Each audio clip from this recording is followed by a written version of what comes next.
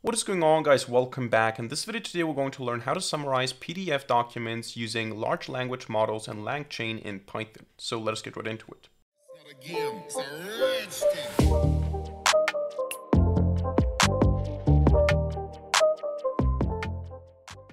Alright, so we're going to learn how to summarize PDF documents in Python by using large language models and LangChain. And for this, I have two documents in this directory here.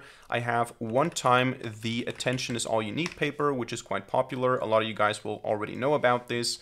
Um, it's the transformer paper, basically. This is the first one. And the second one is a paper that I got, a random paper that I got from arXiv uh, today. I think it was published today, or at least quite recently. I called it new.pdf. I'm not even sure what it is about. It's a pre-trained graph-based model for adaptive sequencing of educational documents.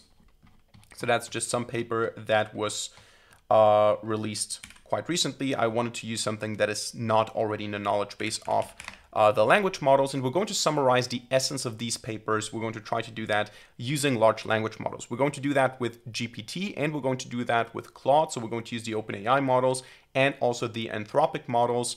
Uh, I want to show you how to do that. And for this, we're going to need a bunch of uh, packages here on our system. So let's zoom in here a little bit so you can see this better. We're going to start by installing the following packages. First of all, Python dash dot .env. We want to use this because I'm going to load the API keys from a dot .env file, which I already have in this directory.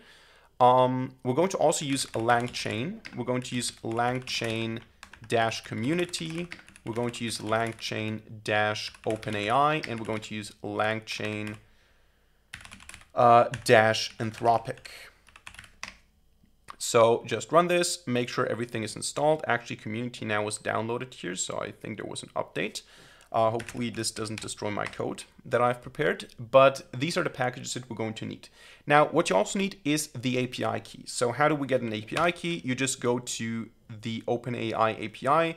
Here you can just create a new secret key. You go to settings, you go to API keys, create a new secret key, copy it. For Anthropic, similar, you go to console, you go to settings, you go to API keys, you create a key, you copy it. That's the basic thing. And how you get this now into your code is you create a file called .env, so .env like this. Um, and I'm going to now create a different file. Let's call it .env2. In this file, what you want to do is you want to create an OpenAI API key uh, variable, and you want to set it to your API key, whatever it is. And you want to do the same thing for Anthropic API key. Again, some stuff. Then you want to save this, and then we can get started with our code. And our code is going to be actually not too comprehensive. So we're going to open up a main.py file. I'm going to start by saying import OS because we want to get environment variables. I'm going to import um, actually from dotenv. I want to import load.env. And then we want to import the LangChain related stuff. So we want to say from LangChain, we want to import from the chains, from chains summarize, we want to import the load summarize chain. So this is basically a pipeline that will uh, summarize our text. I'm going to explain in a second um, what we're going to do here exactly.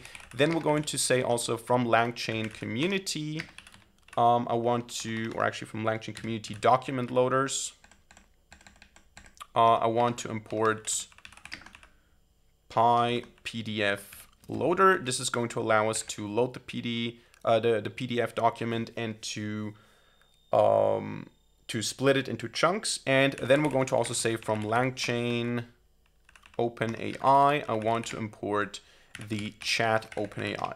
So this is how it's done right now. Oftentimes things are changed in LangChain. So maybe when you're watching this a year or two from now, this might have changed, the syntax might have changed.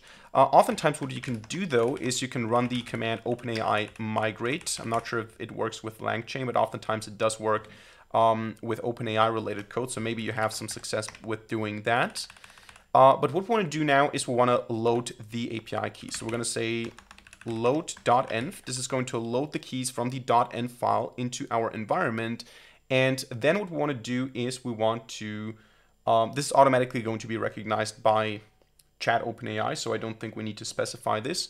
Uh, but we're going to define a function now, summarize PDF, and this function is going to just get a file path Um, and if we want, you can also add a custom prompt. So let's just add it here as a uh, as something that can be done. I'm going to leave it empty by default, just so we have some more control over the process. And what we want to do in this function now is we want to load the PDF uh, document. So we want to say PyPDF loader, and we want to focus on the file path here. And then we want to load the PDF document as chunks. We want to split it into chunks. So we want to say here the documents, so the chunks are also documents, we want to say are equal to loader dot load and split. And this basically takes the PDF document and splits it up into manageable pieces. And what we do now is we summarize these manageable pieces and then we combine them to a complete summary, to a final summary. So we're going to say here, our large language model is going to be chat OpenAI. The temperature is going to be set to zero, so we don't want to make it crazy or creative. And the model name, now you can choose whatever model you like. You just need to be aware that you pay for this. Um, and also that the newer models or the more advanced models are oftentimes slower. So if I do something like GPT-4o, this works, but it will take more time than something like GPT 3.5 Turbo. So just for the sake of speed here, I'm going to use GPT 3.5 4.0 is probably going to give you better results, so consider using that if you have time. But for the video now, I want to use uh, 3.5 Turbo. And now I want to do this um, summarization chain. So I'm going to say chain is equal to, um, to load summarize chain. And I'm going to pass here the large language model. And then I'm going to say chain type equals map reduce. So the basic idea here is we're uh, mapping the summarization. So we're summarizing the individual uh, chunks that we have, the individual documents, and then we're reducing them together. We're merging these summaries into a final summary. That's like the high level explanation of what's going on here. And the resulting summary is just going to be the chain invoked onto the documents. Actually, I don't know why I had this custom prompt here. Let's just get rid of this. Um, so I'm going to return the summary here in this case, and then we're just going to run this in a main section.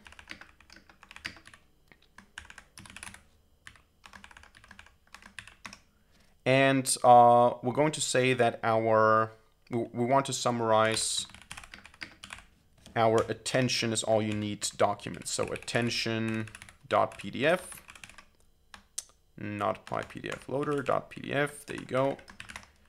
And I want to print then that the summary is the following. And then just summary. And to be precise, we're going to get a JSON object. And from this JSON object, we want to have the output underscore text. That is going to be the raw text of the response. So if everything was done correctly, we can now run this Python 3 main py, and it's hopefully going to give us uh, a summary of that. Now, while we're doing that, we can adjust the code to also work with, um, with Claude, so with Anthropic. And for this, we're going to jump into the same directory that we're coding, that we were coding in. And we're going to uh, copy now the main, and we're going to copy it to main Claude py. Now, we do have a result here, so let's take a look at that. Um, it says the paper by this guy introduces the transformer model, which utilizes attention mechanisms for sequence modeling and transduction transduction tasks, outperforming traditional models in machine translation, and so on and so forth. So we have here the gist of the paper, just giving us uh, a broad summary of what this paper is about, um, summarized into like two, three, four sentences, something like this. Uh, now let's see if we can also get such a summary for the other one, new.pdf. Let's run this, and while we're doing that, let's um, rewrite the whole thing now for Claude. For this, all we need to do is we need to change the model, obviously. So we're going to say main Claude py. What I want to do here is instead of from LangChain OpenAI importing chat OpenAI, I want to say from LangChain uh, Anthropic, I want to import the chat Anthropic. And uh, then I just want to replace chat OpenAI with chat Anthropic. Temperature zero. Model name, of course, has to be changed as well to, for example, a fast model is 3, 5, haiku latest. And the rest, if I'm not mistaken, stays the same. So let's just save this and let's just run this. Python 3 main Claude PY. Let's also see now what we have here. This study introduces a data efficient framework for learning path personalization in MOOCs using a pre-trained recommender system with reinforcement learning. It formulates the problem as a Markov decision process and so on and so forth. So it gives us, again, a high-level overview of the paper. Um, let's see what Claude does, and let's see if probably, I think there's a problem with the with a max chunk size or with a maxed uh, context window. I'm not sure about this but we're going to see, I think this takes a little bit longer than the GPT models. But in general, this is how you do that. And you can do the same thing also with local models. You can do it with Llama if you have Ollama running. Uh, basically, you just have to say from LangChain, was it LangChain Ollama or was it LangChain Community Ollama? I'm not sure. Um, let me just see. Is it from LangChain? Actually, I need to create a Python file to be able to see that. So let's jump into this directory here again. Uh, oh, it starts downloading stuff. Interesting. So let's see if that is going to give us a result now. But basically, okay, let's first take a look at this. This is now a more lengthy summary. So we have here's a concise summary of the transformer paper. The transformer is a novel neural network architecture for sequence transduction, so on. And then key features include the model achieves state-of-the-art performance. Actually, to be honest, this is a much better summary than what we got from GPT. So I want to run this again, uh, but also for the other file. But it doesn't surprise me that Claude outperforms GPT here. This is usually the case, nowadays at least. Wasn't like that in the beginning, in my opinion. Uh, but let's see if I can figure out, I'm not going to code this here, but let's just say Ollama PY. I think it's from LangChain. Uh, yeah, we do have LangChain Ollama lms import. Do we have some auto-completion here? Ollama LLM, probably something like this. Uh, just look it up. I'm sure you can find an easy way to do the same thing with your local large language models. But this is very useful because it gives you a quick start when you're looking for papers. Also, what you can do is, of course, you can automate this. So you can just uh, put a loop around it. You can say, for example, if you like Claude more, you want to use the summarize PDF function. So what you do is you just have a directory full of 20 files or 30 files or 100 papers, and you just say for i in or for file in os list dir, and then all these PDF documents, and then what you do is you just summarize them, you get the summaries, you save them somewhere, and then you have very quick descriptions of the papers and you don't have to open them, you don't have to read the abstract, you don't have to read the conclusion, you can just look at this small summary and see if it's relevant to your project or not. And that's it. I think that's a very useful thing. so let's see what we get here now as a response.